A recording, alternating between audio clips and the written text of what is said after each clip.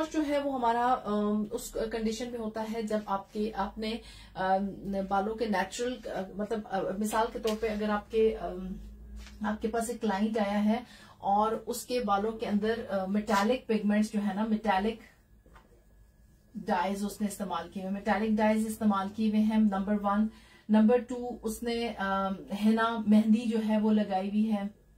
ठीक है?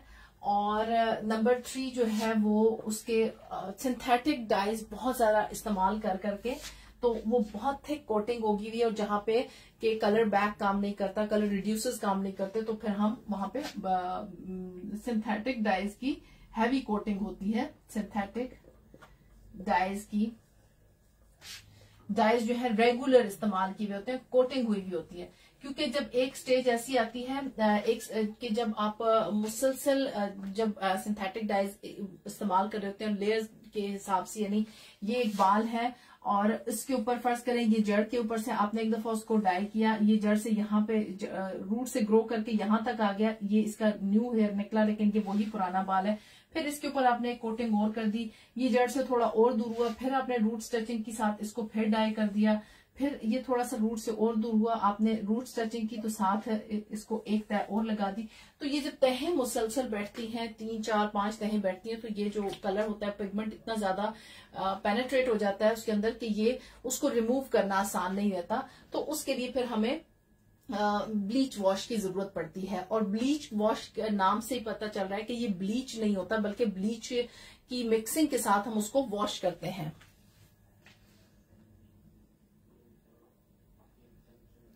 Metallic dyes और सिंथेटिक डाइज का डिफरेंस बता दें। अच्छा मेटेलिक डाइज और सिंथेटिक डाइज वैसे आप लोगों को मैं यहाँ पे शॉर्टली बताऊँगी, लेकिन आप लोगों को मेरी यूट्यूब के ऊपर बकायदा सिंथेटिक मेटेलिक डाइज के हवाले से पूरी वीडियो मौजूद है। मेटालिक डाइज मेटालिक सॉल्ट्स उनके अंदर मौजूद होते हैं। उसको कहते हैं मेटालिक सॉल्ट्स मेटालिक डाइज जैसे कि आप, अगर पाकिस्तान में हम इसको देखें, जैसे बीज, बीजन है, मुझे अब इसके स्पेलिंग नहीं करने आते, बीजन है, बीजन। और पॉली कलर है सैम काला कोला है, काला कोला, ये इस तरह के जो डाइज हैं, ये मेटालिक डाइज होते हैं और मेटालिक डाइज कहलाते हैं और इनको, इनके अंदर मेटालिक सॉल्ट्स पड़ी हुई होती हैं, जैसे कि जिसके कॉपर होती है इनके अंदर कॉपर बिस्मत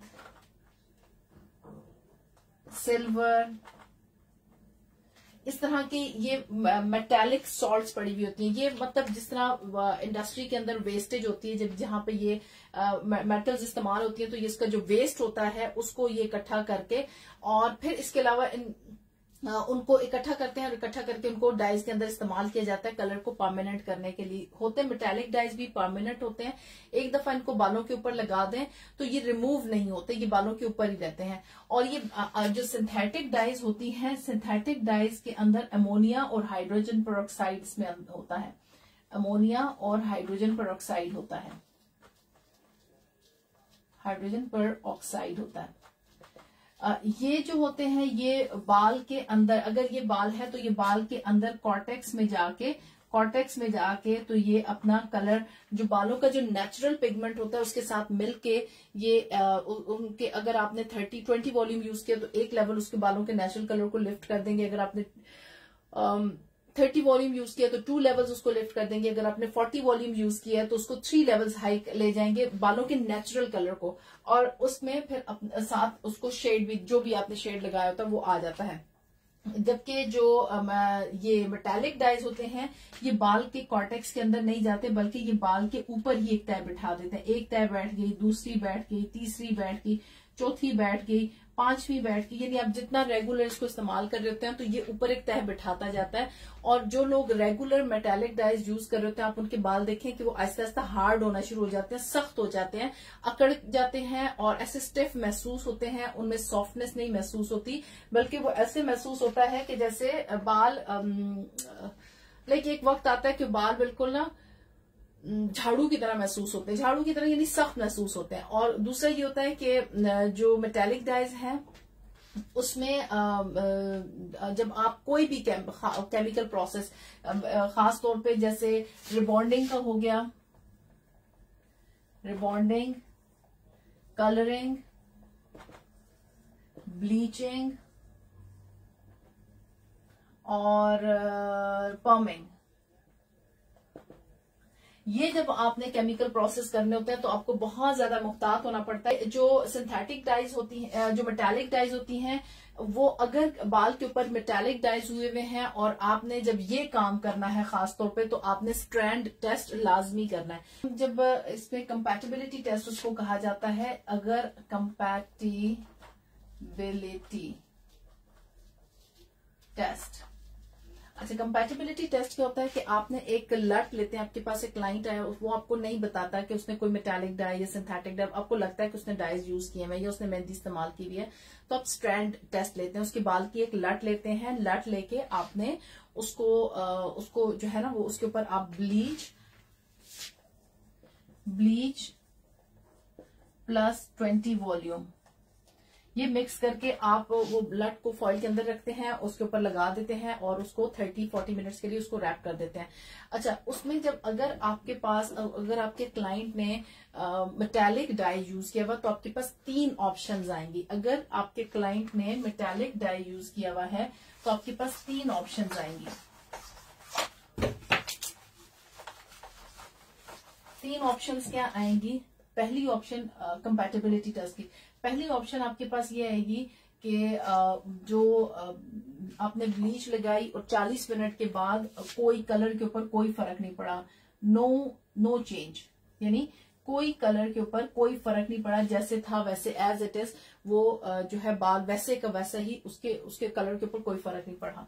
दूसरा ये होगा कि बाल तकरीबन 10 10 से 15 मिनट के अंदर वो कॉपर में, तेज कॉपर कलर में चेंज हो जाएगा। कॉपर में चेंज हो जाएगा। ठीक है? और तीसरा आपके पास ये तीसरा ऑप्शन ये होगा कि कलर जो कलर है, ये बाल है, वो हीटअप होगा, यानी फॉइल आपकी हीट हीटअप हो जाएगी और हीटअप होगी। अगर उन्होंने बहुत ज़्यादा ऐसा वो, ऐसा डाई यूज़ किया हुआ है जिसके अंदर कॉपर है तो वो क्या होगा कि वो हीटअप होके और उसमें उसका जो जो उसमें से एक हल्का सा आपको फील होगा कि यानी गर्म होगी और गर्म होकर आपको हल्का सा समटाइम जैसे महसूस होता है, अगर आप पूरे सर पे लगाते हैं तो वो आपको ना बाल बाल में से हल्का सा धुआँ निकलता हुआ भी महसूस होता है। और धुआँ जो, वो निकल के तो बाल क्या होता है, वो कलर तो चेंज करता है, लेकिन प्लस वो क्या होता है कि वो टूट जाता है ब्रेकेज हो जाती है, बाल टूट जाता है। तो ये तीन ऑप्शंस आपके पास होती हैं जब आपने जब आप कंपैटिबिलिटी टेस्ट करते हैं बाल के यानी स्ट्रैंड टेस्ट कंपैटिबिलिटी टेस्ट जो होता है वो बाल के लट के ऊपर होता है, जहाँ पे आपको जहाँ आपका क्लाइंट आपके पास जब आता है तो आपको शक होता है कि उसने रेगुलर डाई यूज़ किया हुआ है। अमूमन खातन जो है घर के अंदर यहाँ पे फ्रंट पे कलर लगाती रहती है रूट्स टचअप करती रहती हैं। फिर जब वो छह, सात, आठ महीने के बाद वो आपके पास आती है और कहती है कि हमारा कलर बहुत डार्क हो गया है और हम उसको चेंज करना चाहते हैं तो वो फिर आप उसको उसको जब लाइट करने के लिए आप उस, जब करती हैं वो आपको ये नहीं बताती वो यही कहती है कि हम सिंथेटिक डाई इस्तेमाल कर रहे हैं। जबकि वो सिंथेटिक डाई यूज़ अगर नहीं कर रही तो और आपने टेस्ट किया तो आपको पता चल जाएगा कि आप अपना ये प्रोसेस कर सकती हैं या नहीं कर सकती अगर उन्होंने मेटेलिक डाइज इस्तेमाल किए हुए होंगे तो इन तीनों ऑप्शन में से कोई भी ऑप्शन आपके पास आ सकता है। अगर ये ऑप्शन है तो इस सूरत में तो आपने यानी आपने मेहनत करने की ज़रूरत नहीं है क्योंकि आप प्रोडक्ट भी जाया करेंगी और अपना टाइम भी जया करेंगी और क्लाइंट की का एतबार भी खत्म करेंगी। और इसमें कोई इस पे बालों पे फ़र्क नहीं पड़ने लगा। अमूमन जब आप स्ट्रैंड टेस्ट करते हैं तो आप एक लट यहाँ से लेते हैं, एक क्राउन के एरिए से लेते हैं और एक बैक से लेते हैं। बैक से लेने का ये होता है कि लोग, अमूमन क्लाइंट बैक से कलर नहीं कर सकता तो वो वैसे ही वो नेचुरल हेयर होता है और आपको पता चल जाता है कि नेचुरल हेयर यहाँ पीछे मौजूद है। क्राउन पे अक्सर क्लाइंट होते हैं क्राउन के साथ भी टचअप करते हैं, लेकिन ये एरिया थोड़ा सा हमारा जो यहाँ पे मतलब हम एक्सपोज होता है तो वो फिर यहाँ पे आपको यहाँ पे उसका रिज़ल्ट डिफरेंट होगा। और जब आप फ्रंट पे आप करेंगे तो क्लाइंट जो है वो रेगुलर अगर बाल उसके ग्रे हैं, वो रेगुलर यूज़र है डाई का तो आपको यहाँ पे पता चल जाएगा कि आपने यहाँ पे क्या यानी अगर मेटालिक डाई यूज़र है और उसने वो रेगुलर इस्तेमाल कर रहा है तो अगर कलर यहाँ से समटाइम्स यहाँ से बिल्कुल नहीं हिलेगा, यहाँ से क्राउन से हिल जाएगा, पीछे से मतलब उसका वर्जन वाला तो वो आपका, आपके पास एक डिफरेंट रिज़ल्ट आएगा।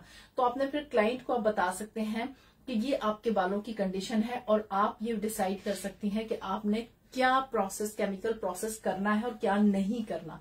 तो जब नो चेंज होगी तो उसमें तो आपके पास कोई ऑप्शन नहीं है। आपने उनको रिफ्यूज कर देना, उनको कहना है कि आप बाल ग्रो करें और आपकी रूट्स टचअप हम करते रहेंगे अंटिल के नीचे से बालों की कटिंग ट्रिमिंग करते रहें, ऊपर से बाल ग्रो करते रहें until eight nine ten months या एक साल के बाद उनके बाल इस तरह हो कि वो आप उनकी रूट्स इतनी ग्रो कर जाती हैं तो आप उनके रूट्स के ऊपर काम कर सकती हैं। फिर उसके बाद अगर आपके पास सेकंड ऑप्शन आती है कि अगर क्लाइंट ने मेटालिक डाई यूज़ किया हुआ और वो तेज कॉपर रंग में जैसे कि जैसे आप शेड कार्ड में देखिए ऑरेंज के शेड जो आते हैं कॉपर के शेड उस तरह का शेड आ गया है तो फिर आप, उसमें आपके पास लिमिटेशंस होती हैं। आप हर, आप कलर नहीं कर सकते। अब लिमिटेशंस क्या होती हैं कि आप चॉकलेट ब्राउन के शेड कर सकते हैं, आप रेड के शेड कर सकते हैं, आप महागनी कर सकते हैं, आप कॉपर कर सकते हैं, आप नेचुरल का फाइव सिक्स फाइव या सिक्स का लेवल कर सकते हैं। लेकिन आपके पास हाई लिफ्ट करने की चॉइसेस नहीं होती, आपके पास ऐश में जाने की चॉइसेस नहीं होती, आपके पास गोल्ड में जाने की चॉइस नहीं होती, आपके पास पर्ल में जाने की चॉइस नहीं होती, आपकी, आप लिमिटेड रह के काम कर सकते हो। आप ऐसी सूरत में क्लाइंट को आप क्लियरली बताएँगे कि ये हमारे पास, आपके बालों का ये रिज़ल्ट आया है और हम ये ये कर सकते हैं। और इस सूरत में आपकी प्रोमिस जो होती हैं, वो क्लाइंट के साथ आप किसी कोई फेक प्रोमिस मत कीजिए, वो आप अपने लिए प्रॉब्लम करेंगे। और तीसरी जब आपके पास ऑप्शन हो जाती है नो वे इसमें तो आपके पास रिस्क लेने का भी यानी आपको वो नहीं होता कि आप इसको रिस्क लें, क्योंकि ऐसी इस सूरत में अगर आप ये काम करेंगे तो बाल जड़ से उतर के आ जाएगा एंड आपके पास कोई ऑप्शन नहीं होगा और समटाइम्स बाल दोबारा ग्रो भी नहीं करता। अगर आपने रूट्स के साथ ब्लीच वॉश ब्लीच या ब्लीच वॉश जो भी लगा लिया तो ये दोबारा ग्रो भी नहीं करता, क्योंकि रूट जल जाती है। और ये मैंने अपनी जो जो मतलब ब्यूटिशियंस हैं पाकिस्तान की, मैंने उनके एक्सपीरियंसेस उनके होते हुए देखे हैं, इसलिए मुझे बहुत मतलब वो बताते हैं। ओपनली तो कोई भी नहीं बताता, लेकिन हमारे साथ कांटेक्ट करते हैं तो बताते हैं कि उनके साथ ये ब्लंडर्स वो कर चुकी हैं। आप लोग इसके साथ के ब्लंडर्स जो है, उससे एहतियात करें। और ये जो मैंने आपको बताया ना, ये ये जो रिबॉन्डिंग पर्मिंग डाई या ब्लीच ये कोई भी आप ये उस सब के लिए ये स्ट्रैंड टेस्ट होगा। अगर आपके क्लाइंट ने मेटालिक डाइज यूज़ किए, ये सब के लिए है। अब मैं आती हूँ हेना ट्रीटेड बाल पे। हेना कोटेड बाल है। मेहंदी अक्सर क्लाइंट लगाता है और वो ये समझता है कि मैंने मेहंदी लगाई, पाँच महीने बाद मैंने नहीं लगाई तो वो बाल, मेरे बाल के ऊपर ही मौजूद है। मेहंदी भी बिल्कुल मेटेलिक डाइज की तरह होती है और वो बाल के ऊपर जो है ना वो एक तय बिठाती है वो बाल के अंदर नहीं जा सकती। बाल के ऊपर एक तय दूसरी दोबारा लगाई दूसरी तय तीसरी दफ़ा लगाई तो तीसरी इस तरीके से कोटिंग होती रहती है और बाल जो मेहंदी लगाने वाला क्लाइंट होता है आप उसको देखेंगे कि उसका बाल भी वक्त गुजरने के साथ जो रेगुलर यूज़र है मेहंदी का उसका बाल भी मेटालिक डाइज की तरह वो आ, हो जाता है सख्त हो जाता है ठीक है? तो उसके लिए फिर ऐसी सिचुएशन में आपने जो आपके पास जब क्लाइंट आता है अगेंस्ट स्ट्रैंड टेस्ट के मैं आपको एडवाइस करूँगी क्योंकि क्लाइंट आपको नहीं बताएगा। आपके अगर क्लाइंट है उसका सर यूँ लेट से उसके बाल इस तरह ग्रो किए हुए हैं और वो आपके पास आती है आ, आ, कि मैंने चार महीने पहले पाँच महीने पहले मैंने डाई किया था मेहंदी लगाई थी। तो पाँच महीने में आप अंदाज़ा करेंगे कि कितना बाल ग्रो होता है। अगर इतना बाल ग्रो हो जाता है तो इसके इधर का बाल जो होगा, उसके ऊपर मेहंदी स्टिल मौजूद होगी। आप ये मत समझिएगा कि जो बाल वर्जन है तो वो सेम वही बाल जो है वो नीचे वाला बाल भी होगा। आप जब कलर लगाएँगी तो आप मिक्सिंग करेंगी तो आपने यहाँ के लिए आपकी सेपरेट मिक्सिंग होगी। यहाँ पे लेट्स से मिक्सिंग ए और यहाँ के लिए जब आप करेंगी तो यहाँ पे मिक्सिंग बी यानी दो डिफरेंट फार्मूलाज के साथ आपने बालों के ऊपर काम करना है।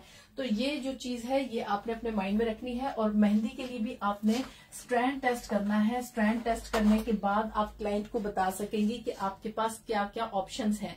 क्योंकि ब्लीच समटाइम्स हम ब्लीच वॉश करते हैं। अगर क्लाइंट को बहुत ज़्यादा बहुत ज़्यादा लाइटर टोन पे नहीं जाना होता तो हम ब्लीच वॉश कर लेते हैं। लेकिन अगर उसने लाइटर टोन पे जाना होता तो फिर हम डायरेक्ट ब्लीच का प्रोसेस करते हैं। तो ये हमारे पास ये हो गया, ये हिना ट्रीटेड हेयर के लिए। अब मैं आती हूँ सिंथेटिक डाइज के ऊपर। सिंथेटिक डाइज जो है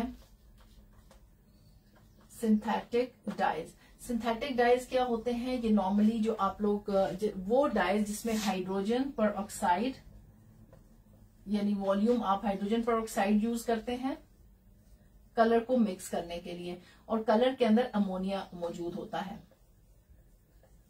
ठीक है? ये कलर के अंदर मौजूद होता है. अमोनिया कलर ट्यूब के अंदर होता है. Sorry, tube. और ये जो वॉल्यूम आपका होता है, ठीक है? जो, जिन डाइज के अंदर ये दोनों चीज़ें मौजूद होती हैं, वो आपकी सिंथेटिक डाइज हैं, ठीक है? अच्छा सिंथेटिक डाइज में ये होता है कि वो बाल के, जो मैंने आपको बताया कि ये, अगर ब्लैक से ये बाल है तो ये बाल के क्यूटिकल्स ओपन करके अमोनिया जो है, ये बालों के क्यूटिकल्स ओपन करता है।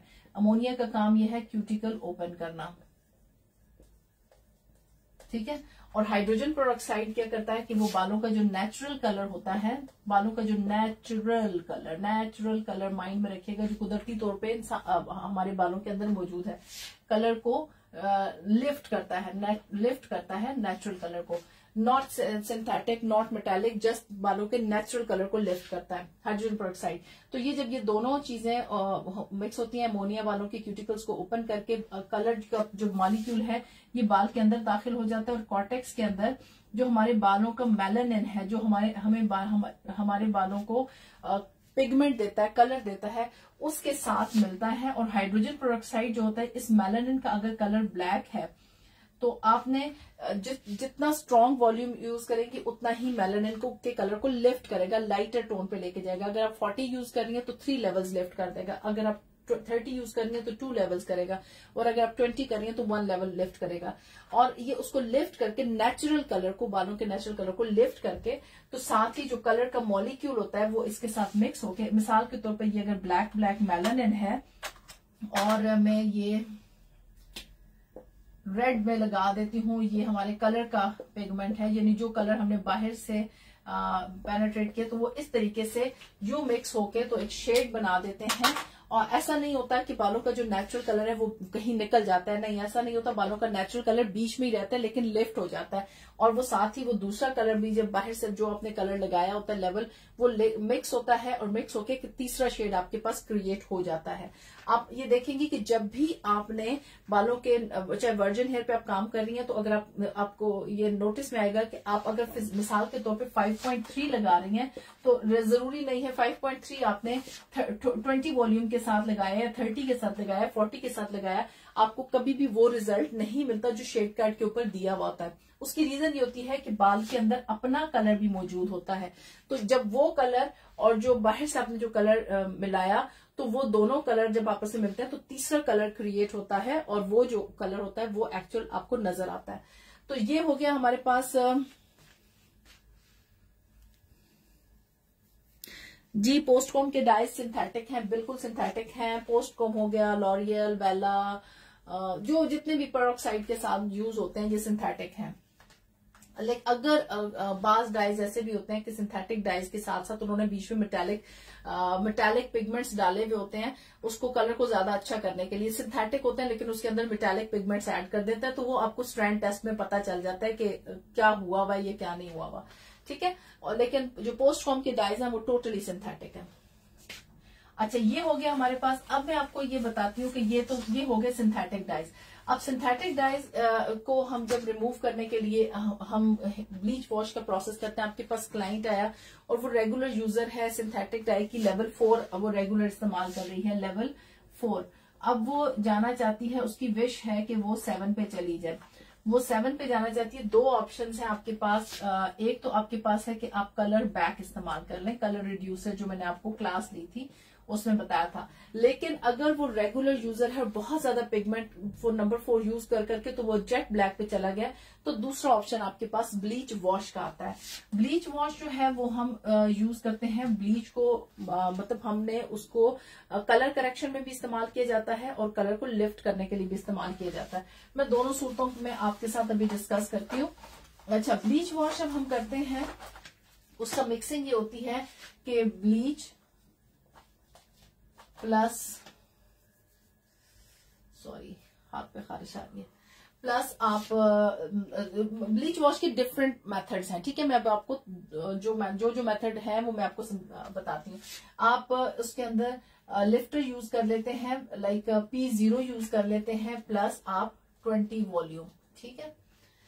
ट्वेंटी वॉल्यूम इस्तेमाल। ब्लीच कितनी इस्तेमाल होती है? लाइक अगर आपने तीस ग्राम ब्लीच ली तो आप पी ज़ीरो जो लेंगी वो थर्टी एम लेंगी प्लस जो ब्लीच जो जो वॉल्यूम होगा, इन दोनों का डबल हो जाएगा। तीस जमा तीस साठ हो जाता है और साठ का डबल एक सौ बीस हो जाएगा। वन ट्वेंटी एम आपका डेवलपर आ जाएगा। पी ज़ीरो मिक्स करने से ये होता है कि ये ब्लीच होती है क्रीमी फॉर्म में हो जाती है ब्लीच की इंटेंसिटी कम हो जाती है, ठीक है? और ब्लीच इतनी स्ट्रांग नहीं रहती और वो आप, उससे ये, जो होता है कि ये उसका जो जो मतलब होती है कि वो टाइम ये नहीं कि जैसे आपने लगाया तो एकदम से वो आपके बालों को लाइटर टोन पे ले जाएगी। और एक बात याद रखिए, जो ब्लीच के वॉश के जो मिक्सिंग फार्मूलाज मैं आपको बताऊँगी, ये अकॉर्डिंग टू हेयर हम डिसाइड करते हैं कि हमने किस बाल किस बाल पे कौन सा मेथड ब्लीच वॉश का इस्तेमाल करना है। तो ये हमारे पास जब ऐसा आता है कि जब बहुत स्टबन कलर हो जाता है और आपके आपसे नहीं, अब यानी वो आप समझते हैं, आपने स्ट्रैंड टेस्ट किया और नहीं वो हिल रहा और तो ऐसी सूरत में आप ये मिक्सिंग करके वहाँ पे उस जगह पे उसको सिर्फ़ उसी एरिए पे लगाएँगी, ठीक है? तो उसमें फिर आपका जो ये होता है, ये जो जो कलर है वो आपका लिफ्ट हो जाता है और जिस लेवल तक आपने जानना होता है आप उसको लिफ्ट कर सकती हैं। नॉर्मली हम, अब जैसे मैं लेवल सेवन की बात कर रही हूँ तो मैं इसको लेवल फोर से जब वो उतर के तो ये सेवन का, यानी बीच में कॉपर टोन्स डेफिनेटली आएँगी जब मैं लेवल फोर को लिफ्ट कर रही हूँ, वो भी सिंथेटिक डाइज के इस्तेमाल हुए हैं। तो वो कॉपर की टोन आएगी, लेकिन उसको लिफ्ट करूँगी लेवल सेवन या एट एक लेवल ऊपर ले जाके लेवल एट तक उसको लिफ्ट करूँगी दूसरा मेथड हमारे पास हमारे पास अच्छा मैंने आपको ये बताना था, जो हमारी व्हाइट ब्लीच है, वो बहुत माइल्ड है, और मैं ग्रुप में उसकी शेयर भी कर दूँगी कि उसकी खसूसियात क्या है, और ये अमूमन हम इसको ब्लीच वॉश के लिए हम व्हाइट ब्लीच को इस्तेमाल करते हैं इंस्टेड के ब्लैक ब्लू ब्लीच को हम इस्तेमाल करें। तो व्हाइट ब्लीच आप उसको यूज़ कर सकते हैं। अगर बाल बहुत डैमेज है ड्राई है तो आप व्हाइट ब्लीच के साथ काम करें कि यानी आपको ये लगता है कि बाल बहुत ज़्यादा पोरस होने की वजह से कहीं बाल टूट ना जाए तो आपने उसको व्हाइट ब्लीच के साथ काम करना है। अच्छा फिर उसके बाद आपके पास जो सेकंड मेथड आता है, एक आपके पास होता है कि आपने कलर लगाया। कलर आपने डाई आपने पूरे बालों पे डाई लगाया आपको ऐसे लगा कि आपने जो कलर आपने अचीव किया था और उस वक्त उस वक्त तो डाई यानी आपने जब वॉश किया वॉश करने के बाद जब ड्राई किया बालों को तो आपको पता चला कि कलर आपका डार्क हो गया, एक लेवल डार्क हो गया है। ये दो लेवल्स डार्क हो गए तो अब क्या करें? अब आप ज़ाहिर बात है, आपके पास ऑप्शन तो कोई नहीं, आप दोबारा कलर की एप्लीकेशन करेंगी, ये प्रोसेस करेंगी। नहीं, ऐसा नहीं करेंगी। आपने क्या करना है कि ब्लीच वॉश अब आप दूसरा ब्लीच वॉश बनाएँगी। यानी ये सेकंड मेथड आपको बता रही हूँ।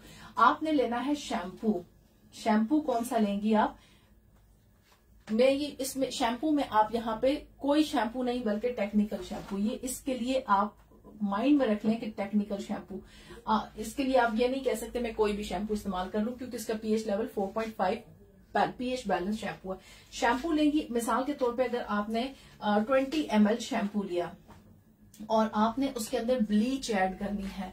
ब्लीच आप कौन सी ऐड ब्लीच ब्लू कर लें या व्हाइट कर लें, जो भी आपके पास अवेलेबल है ब्लीच आप ऐड करेंगी, और ब्लीच आप कितनी ऐड करेंगी? तकरीबन सेवन एम तक आप सेवन ग्राम ब्लीच उसमें भी सेवन ग्राम आपने ब्लीच ऐड करके उसको आपने क्या करना है कि वो शैम्पू आपने उस बालों के ऊपर उंडेल देना है और आपने हल्के हल्के शैम्पू करना है, पूरे बालों को जिस तरीके से हम शैम्पू करते हैं और साथ साथ आप चेक करती रहेंगी। और plus sorry plus ten volume भी प्लस टेन वॉल्यूम टेन एक मिनट।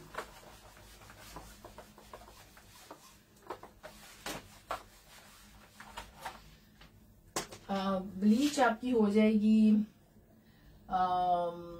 सेवन ग्राम हो जाएगी और टेन वॉल्यूम टेन वॉल्यूम जो है, जितना आप ब्लीच लेंगी, उतना ही आप सेवन एम आप टेन वॉल्यूम ऐड करेंगी और फिर आपने ये प्रोसेस करना और उसको मिक्सचर को अगर आप समझती हैं और वेट हेयर पे, क्योंकि काम ही वेट हेयर पे होगा तो आपने गीले बालों पे इसको आपने करना और जैसे ही आपको फील हो कि आपका एक लेवल लिफ्ट कर गई है टू लेवल्स लिफ्ट कर गई है तो आपने, और इसको रूट्स पे पहले नहीं लगाना, आपने पहले लैंड सैंड्स पे लगाना है और रूट्स पे आप आहिस्ता आहिस्ता उसको लेके जाएँगी और जैसे ही आपको फील होता है आप उसको वॉश कर देंगी। और ये काम सारा आपका शैम्पू यूनिट पे होगा, ये अलग से नहीं होगा। तो ये आपका shampoo plus bleach plus ten volume और समटाइम्स अगर हमें बहुत माइनर सा यानी हमें बहुत हल्का सा माइनर सी चेंज करनी हो तो हम पानी भी ऐड कर देते हैं। इसमें थोड़ा सा डेवलपर के साथ डेवलपर को मजीद माइल्ड करने के लिए हम उसमें पानी भी ऐड कर देते हैं। और ये आपका क्रीमी सा एक शैम्पू की तरह का मिक्सचर बनता है, जो कि shampoo as a bleach wash आप उसको यूज़ करते हैं। ये उस सूरत में होता है जब आपके पास कलर ऐसा हो गया समटाइम्स ऐसे होता है कि आप आ, आपका स्ट्रीकिंग का कलर आपको लगता है कि ये आ, थोड़ा सा एक लेवल लाइट होना चाहिए। था बजाय इसके कि आप ज़ाहिर बात है आप अपने स्ट्रीक्स फॉइल उतार ली सारा कुछ कर लिया और अब आप उसको दोबारा तो फॉइल्स नहीं लगा सकते तो आपको एक लेवल लाइटर जाना है तो आप ये ब्लीच वॉश का मेथड उधर भी ये वाला ब्लीच वॉश का मेथड आप उधर भी अप्लाई कर सकती हैं। और ये यानी शैम्पू के अंदर आप ब्लीच ऐड करके आपने उसको कर लेना है। तीसरी सिचुएशन उस वक्त होती है कि जब आपने, आप कलर का काम कर रही हैं और आपसे कहीं टोन रेडिश टोन जो है या जब अपने कॉपर की टोन आप इस्तेमाल कर रही हैं, वो थोड़ी ज़्यादा हो जाती है डार्कर में चली जाती है देन अगेन आप ये ब्लीच वॉश का मेथड इस्तेमाल करेंगी।